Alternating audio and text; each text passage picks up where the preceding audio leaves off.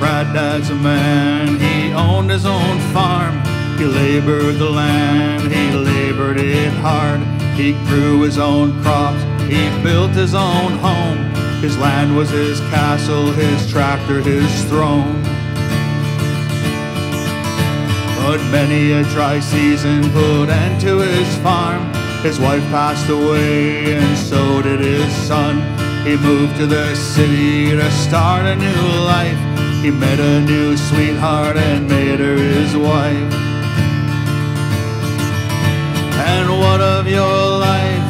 What have you done? You just sit on your ass watching reruns. Your life opportunities have all withered and gone. You're not half the man your grandfather was.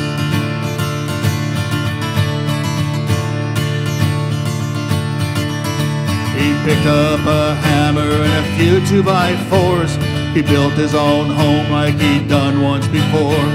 He built homes for others, he found a new trade. He had five more sons, a new life was made. And what of your life? What have you done? You just sit on your ass watching reruns. Your life opportunities have all withered and gone. You're not half the man your grandfather was.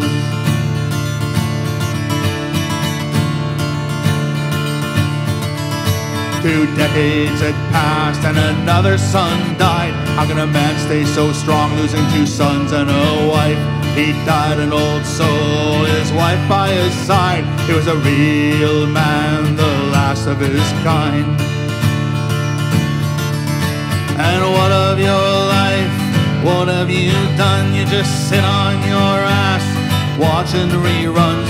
Your life opportunities have all withered and gone. You're not half the man your grandfather was.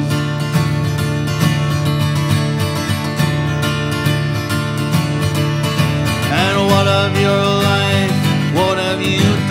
just sit on your ass watching reruns. Your life opportunities have all withered and gone. You're not half the man your grandfather was. No, you're not half the man your grandfather was.